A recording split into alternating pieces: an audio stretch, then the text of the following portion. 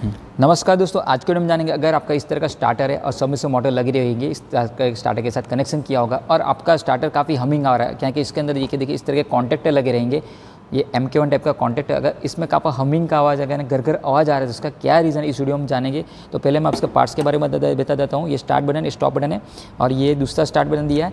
ये PV button इसको press करके वोल्टेज चेक कर सकते हैं। ये आपका ए मीटर जिसमें आपको करंट शो करेगा और ये आपका इंडिकेटर तो ये स्टार्ट बटन का यूज़ कब करना जब आपका ये स्टार्ट बटन से मोटर नहीं चालू तभी आपको इसको यूज़ करना है। वो भी तीन सेकंड के लिए। ज़्यादा टाइम इसको यूज़ करेंगे तो आपकी मोटर जल सकती है। ठीक है? यानी ये ज़्यादा वोल्टेज यानी ज़्यादा मोटर मोटर को ज़्यादा वोल्टेज देने के लिए ये हम स्टार्ट बटन का हम यूज़ करते हैं। ठीक है? ये सिर्फ़ आपका नॉर्मल रनिंग कंडीशन स्टार्ट और स्टॉप बटन का यूज़ करेंगे। अगर ये नहीं काम करे, तभी आपको यूज़ करना अगर आपको ये एक या दो मिनट के लिए इसको दबा के रखेंगे ज़्यादा टाइम के लिए तो आपकी मोटर की वार्निंग चल सकती है। तो ये चीज़ आपको ध्यान में रखने की।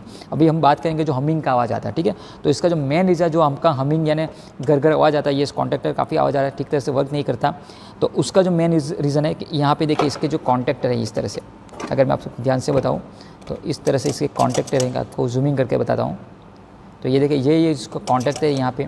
ये सब, ये तो ये इसके अंदर डस्ट जमा हो जाता है, धूल जमा हो जाता है या फिर कार्बन जमा हो जाता है।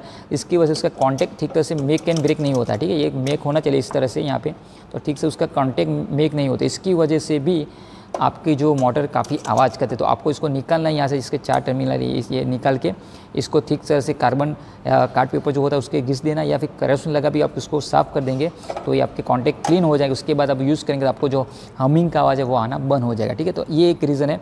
और दूसरा रीज़न है, कई बार ज़्यादातर होता है कि लो वोल्टेज लो वोल्टेज की वजह से भी यहाँ पे आपको ये हमिंग का आवाज़ आता रहेगा। जब ये वर्क करेगा मोटर चालू होगी तो काफ़ी ज़्यादा आवाज़ होगा। और हमिंग का आवाज़ लो वोल्टेज की, यानी अब 230 मिलना चाहिए उसकी वजह, उसके वजह 210 205 200 190 वोल्ट मिलते हैं, कम वोल्टेज मिलते हैं। लो वोल्टेज की वजह से भी ये कॉन्ट्रेक्टर इस टाइप के जो स्टार्ट है उसमें आवाज़ काफ़ी ज़्यादा आती है। तो दूसरा और रीज़न और तीसरा कि कई बार ये टर्मिनल रहते हैं तो ये टर्मिनल भी आपके लूज़ रहेंगे तो उसकी वजह से भी ये हमिंग का आवाज़ आता है। तो सबसे पहले आपको क्या, जितने भी टर्मिनल ये कॉन्ट्रेक्टर के ठीक से उसको टाइट कर देने दूसरा, जो कि उसके कॉन्टैक्ट है, उसको ठीक से साफ़ कर देना है, ठीक है? कार्ड पेपर से या फिर आपके पास कैरोसिन होगा, वो भी लगा के ठीक तरह से साफ़ कर देंगे तो ये कॉन्टैक्ट साफ़ हो जाएँगे, ठीक है? और दूसरा, तीसरा जो लो वोल्टेज वो चेक करना। लो वोल्टेज मिल रहा होगा तो आपको वो ठीक करना पड़ेगा फ़र्स्ट तभी आपका जो हमिंग का आवाज़ आ रहा है वो कम होगा। तो आई होप दोस्तों छोटे के वीडियो से माध्यम थ्रू आपको पता चला क्यों हमिंग का आवाज़ आता है, घर घर का आवाज़ क्यों ज़्यादा आता है। ये अगर इसके अलावा भी कोई रीज़न है तो आप मुझे कमेंट करके बता सकते हैं।